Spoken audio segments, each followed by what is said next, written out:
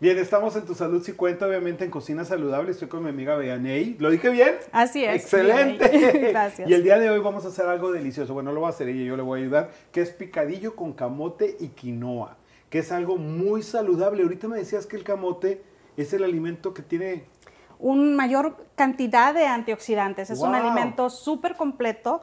Nos ayuda a combatir los radicales libres en nuestro cuerpo. Excelente, fíjate, no sabía eso. A mí me encanta el camote porque lo puede preparar usted de muchísimas maneras. Si uno sabe cuál es, en, en el súper es una papa, pero color anaranjado, así que no hay ningún problema. Ok, y para esta receta, ¿qué vamos a necesitar, Beli? Bueno, para esta receta vamos a necesitar carne, Ok. la que ustedes consideren. Nosotros vamos a utilizar pavo. Ah, vamos pavito, a más saludable. Así Ok. es. Pero puede ser eh, la carne molida, puede ser cerdo, pero aquí queremos eh, eh, pavo. Recomendamos ajá, que, Ok. esté, que sea con menos grasa posible. Vamos a necesitar ah, frijoles, ah, igual los que ustedes consideren. Eh, nosotros vamos a utilizar eh, kidney, pero pueden usar negros, pueden usar pintos. ¿Y ahora qué más necesitamos? Vamos a utilizar vegetales, vamos a utilizar col rizada y vamos a utilizar pimiento. Y vamos a utilizar grano.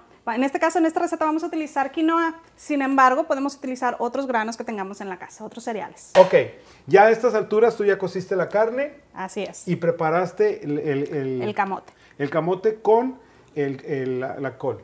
Así es. Con los vegetales que vamos a incluir, que en este caso es el pimiento, la col y por supuesto las especies. Ok. Entre más especies utilizas, menos sal necesitas utilizar en tu receta, debido a que las especies van a brindarle el sabor suficiente para que puedas disfrutar del alimento. Ok, ¿cómo cocinaste el pavito?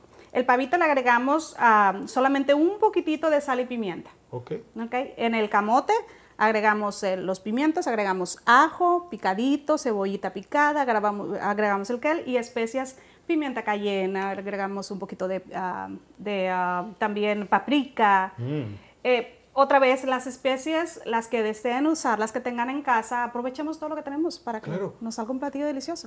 Ok, pues ya tenemos todos los ingredientes listos. Solamente vamos a incorporar todo en este, en este tazón. Si quieres ayudarme. En tu experiencia, ¿qué es lo que tengo que poner primero?